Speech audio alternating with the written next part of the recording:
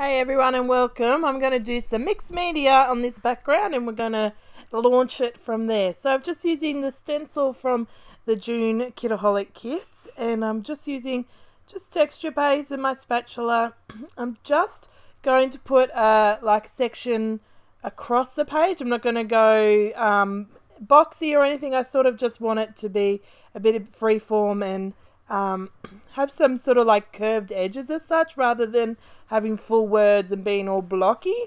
So I hope you can see a bit of what I'm doing. I did move the stencil up when I moved it across to this side so that the words weren't the same. Um, it's really just a little detail and not entirely necessary, but something I just thought I'd do. And then I am just adding a little bit of section here in the middle down the bottom and then up the top as well just to um, make sure it was the shape that I was looking for. Sort of like um, you know just taking up that middle of the page in a um, random but not you know I wanted to make it look random as such not purposefully blocky or anything like that Anyway, so I've sprayed some water down on the mix on the texture paste. I've dried it. I'm just adding my spray straight to the packaging, adding a bit more water, and then smushing it down on the paper. Adding some water here to make it flow a bit. And I don't want it to go too far on the outside of where the texture paste is. I want it to be concentrated to that area um, I want the top and the bottom to have white space. I did get a bit of overspray, so I'm just using a baby wipe here to wipe it up. And then I'm going to um, put a little bit more on, and that way I can see what it was. Um,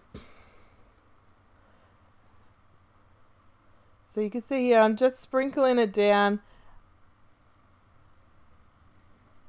and then I'm just moving some of it around on the paper. Just trying to get a few um, spots that are a bit different in the tone of the color like concentrate of that color and having it um, have that little look of um, don't even know what I'm saying. Sorry just got a little bit distracted. My son was taking his temperature. Um, so you can see here it's all modeled and it's not all even across that area. I didn't want it to look exactly the same in all that space. So I'm just going to add some speckles, some ink splatters here on the outside, just really close to the edges. I don't want to muck around. Now I've got these three little photos here, the same little, you know, moment in time, and I've just used my, um, I've collaged them before I printed them, and then I've cut them apart so that I could add them in this little randomy kind of effect and I take forever. I cut it a lot out. I use this really thick washi here, which holds it holds it really well, but I just couldn't get it in the spots that I wanted. I don't know what I was looking for. I was looking for that random, but not. Um, you know, it looks like I haven't done it like that, but I wanted it purposely in a way that looked the right way. So, anyway, so I'm going to work out. I'm going to put it right there in the middle. First, I'm going to add some of the water splats and let that um, soap up some colour for a minute or two. Use my paper towel to soap up that colour and that just gives it a, more of a mottled effect. It's like, um, you know, adding more effect to that background. And you can see how concentrated in that area it is. And those photos look really nice. So I do matte them. You can see here, I pull it all off because I go, eh, that's not what I wanted. I was starting, I wanted a, a just a, a blue background, a blue, you know, monochromatic, monochromatic. I always say it wrong. You know what I'm saying. Um, layout, and then I went wild with the papers and then pulled that off. But I will use that on the next layout. So I'm just having a little play with these bits and pieces. So I've only got the main kit this month, and um, just for a little challenge. And it is a little challenge indeed because I'm used to having millions and millions of embellishments and goodies to play with. So I'm, I'm struggling a little, but I, I've made some good layouts so far, I think. So I'm using these photo corners here. I'm going to use one at the top. I do have one in the bottom right corner, but I pull that out because that's where my main cluster is going to go. I set it on the word today as my title, and I really love this circle here, this yellow circle, and think I'm just going to use it as a base for that um, embellishment cluster, but I end up using the words as well and bringing in that yellow a bit more than I originally thought. So I'm just going through, you can see I've got my really useful box next to me and they've got this little section's got the words in it and then there's a bigger section with the icons and and all the goodness is all sorted out so easy to choose what I want when I want it. So I'm pulling out some of these blue and um, black hearts just so I can have them put on the layout as I'm going.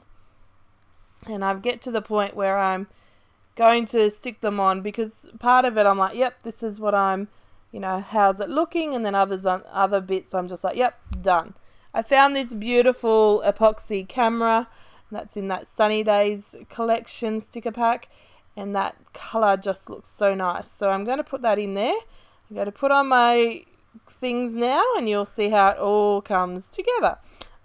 So I'm just going to stick the photo corner. I did want to put it on the top and then I realized I'm not going to put that one down the bottom and I wondered if this one needed to go underneath the photo and I think it looks much better that way. Photo corners are not something I've used I don't think before so that was a, a nice little addition in this kit something different and challenging. So here we go I'm going to add in this Be um, Hello Weekend and I think it's just nice. The yellow pops really nicely off the blue. So on the word today goes and I'm going to add in those leaves just to build out that cluster. They are outside walking. It's funny, the photo on the left is um, my son and his friend were walking him home and they're, you know, arms around each other talking and then they hear that I'm taking photos and then they put their they start to hide under the jumper so that they're um, unrecognizable in the photos. So instead I got this little um, cute little montage of photos that tell a cute little story. So that was a funny little coincidence. So you can see here I put my camera up on fun foam. I stupidly put the, um, not fun foam, foam tape. I put it on top of the plastic backing and had to then take it off, take the plastic backing off and then put it on the camera. I'm going to put another word up under here under this epoxy word sticker just cutting down that little white sticker so that it was not as big as the rest. I wanted it to be smaller so that it could go underneath and nestle in there rather than be the same. Adding some silver stars, even though there's gold in the today word, I don't think it's so um, in your face that it won't be a problem. I think the silver works really nicely in this collection, but I want to keep adding some of that. Try to add some words here. Succeed in putting that one there and then I pick another one and pull out my tiny attacher. I just staple one on like staple one edge. One because I can't get the tiny attacher in the middle there without opening and, and you know self adhes self closing the staple and I just was not in the mood for mucking around with that. So I'm pulling out my pen. I'm going to do some journaling here underneath the cluster here. Don't entirely like that it's sitting there in the end. Um, normally I'd put it under the word today, but really um, after the end of it, I'm like, oh, I should have just not put it on there at all or hidden it or something. I'm not too sure. But to me, it's just, I don't know if it's by writing or what. It just didn't feel right today. Anyway, I'm just using my nozzle and I'm adding some bigger splatters just um, slowly. That way they get a bit bigger and in the spots that I want them. Let's just add a bit of different um, tone again to the layout. Just using my paper towel to dry it up. It's because I couldn't be bothered waiting for it to dry. Like I last month, I discovered that if you, um, even if you use your heat gun or if you wait for it to dry, um, the colors of like stay that way. So if I wanted that really deep tone of these dots, and if I'd use my heat gun or let it dry, um, air dry, it would have stayed that way. Now pull them using the paper towel here. It, they're still a, a tad different color, but they blend in a lot easier because I'm taking off a lot of that ink. So I'm just going to add a few more um, things. I realized it needed some of the yellow on the left hand side, so I pulled out a yellow heart and adding another silver star. And I think I pull out an, another blue heart and put it up there and that's going to be my layout. So hopefully you've enjoyed that and you feel inspired to, to create something with your own kits. I will see you next time. Bye guys.